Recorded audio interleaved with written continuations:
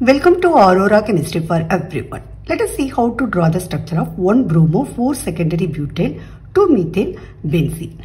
To write the structure from the IUPAC name, we always remember to draw that uh, format which contain root, prefix and suffix. First, if we fill this format, then after that drawing the structure is very easy.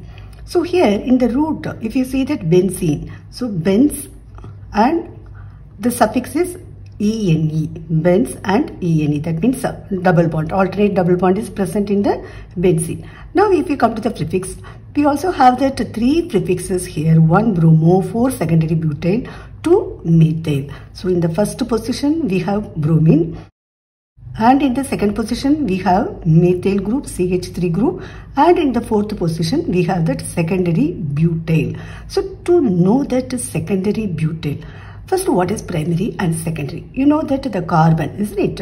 The carbon, if it is attached to the only one carbon, then we called them as a primary carbon. And if it is attached to two other carbon, for example, the middle carbon, if you see, this is attached to the left side also one carbon, on the right side also another carbon. So this carbon we called as a secondary carbon. So here we have that secondary butyl. So butyl means we know that there are four carbon atoms. So that means one more carbon also it must be there. This secondary carbon must attach to the benzene ring. So first let us draw the benzene ring. Let us number numbering first 1, 2, 3, 4, 5, 6.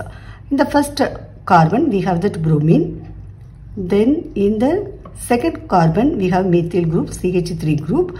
And in the fourth carbon we have that uh, secondary butyl. So secondary butyl so this carbon must attach to here and that uh, here another carbon and that CC.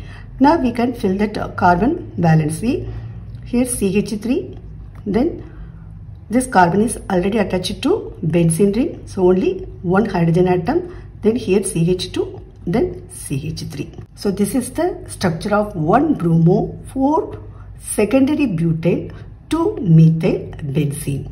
Thanks for watching.